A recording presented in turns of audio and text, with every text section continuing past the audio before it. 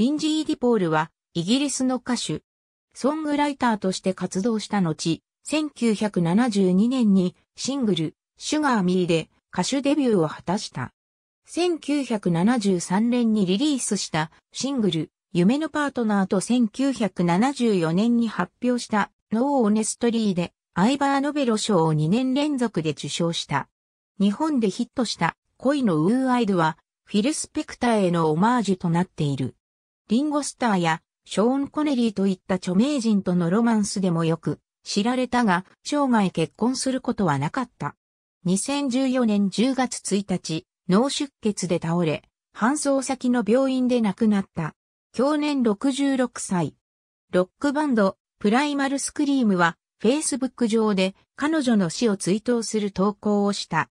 彼女はヒット曲、ストームイン、AT カップ、ダンシン、スクールラブ、セントラルパークアレスト、レッドユアボディー号ダウンタウンを作曲しました。ありがとうございます。